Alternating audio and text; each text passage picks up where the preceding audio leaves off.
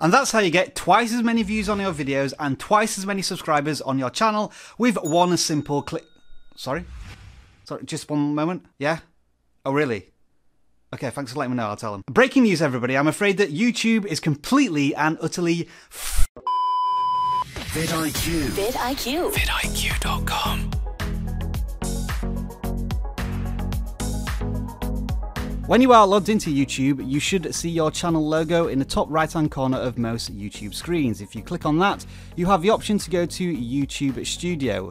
This is currently in beta, but will become the standard as 2019 progresses. When you reach a new studio, this is a homepage or dashboard, and this is where we're going to remain for this tutorial.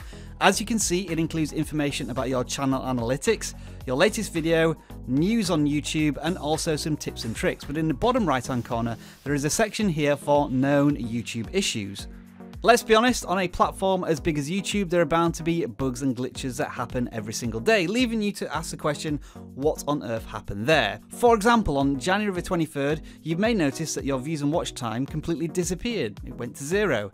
YouTube was aware of this issue and they reported it in this section. So if I click on this bottom link here, it takes us to the YouTube Help and Community Center and gives us a bit more detail on what went wrong. Fortunately, that YouTube bug was fixed for all of us because, yeah, we had a pretty good day then and we want those numbers. If you spot a glitch in the YouTube matrix yourself, you can be a hero and report it to the team of YouTube monkeys who are there to fix it. Yes, there is a team, you may have seen them. In order to report an issue on the Creator Studio, click on the send feedback link in the bottom left hand corner, like this.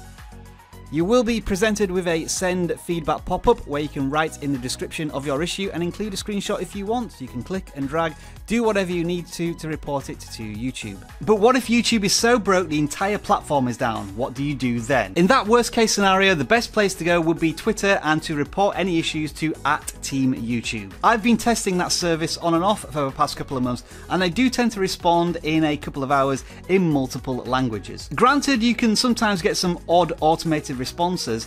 And you can probably bet that if the entirety of YouTube is down, they will be flooded on Twitter anyway, but Team YouTube is a good place to visit for general questions, concerns about your YouTube channel. Except for monetization, they still aren't very good at responding to and resolving issues for video creators there. However, we do have a dedicated video on that over here, which may help accelerate your monetization application. If you want to take your YouTube channel to the next level, then make sure to download vidIQ.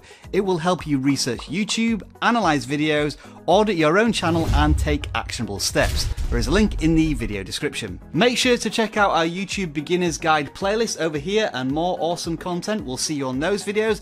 Enjoy the rest of your video making day. Breaking news, everybody. I'm afraid that YouTube is completely and utterly fudged. And you thought I swore. By the way, this isn't an earpiece.